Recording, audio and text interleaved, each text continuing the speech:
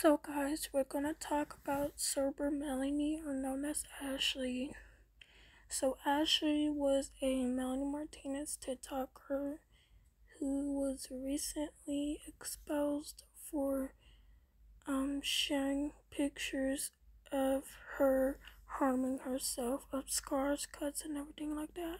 She got banned from TikTok, and people started hating on her. And I was one of those TikTokers that I followed her, I unfollowed her, and for some reason I started following her on her other account, and I guess she got banned from that one. And now knowing what she's going through, she basically, I think this like a couple months ago, I don't know when this was happening. Um, basically, Ashley tried to kill herself. She tried to commit suicide but she was rushed to the hospital as soon as possible. Thankfully, she survived. And she was bullying someone for having the same profile picture as Sober Melanie's as hers. So basically, the person who copied her profile picture got banned. I think they got banned, I'm not sure. But like, if someone's copying your profile picture, that means they like it or they just want to copy everything you have. But I think she liked your profile picture, so she wanted to make one of hers. And you know what? I'm not gonna mention that. The only thing is you you just gotta let it go. You you just gotta let everything go. And I suffered bullying and I thought about killing myself, but I'm currently 12 years old. I'm still here. I didn't quit YouTube.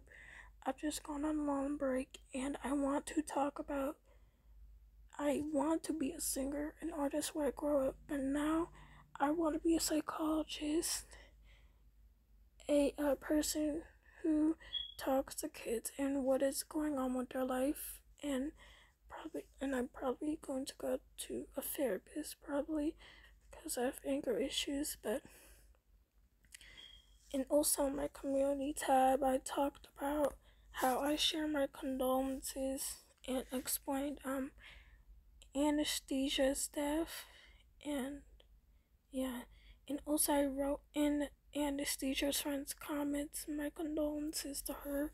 It was kind of short and if you read that comment it sounds like I'm being rude and sarcastic like I don't mean it but I actually do mean it.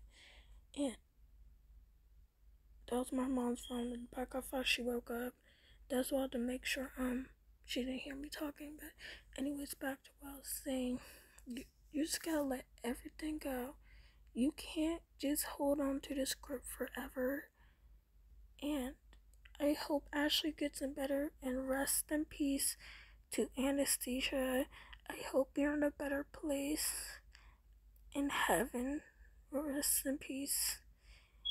And also, thank you for 60 subscribers. I hope it can grow and let's just ignore the bullying. Let's just report it. Report the bullying.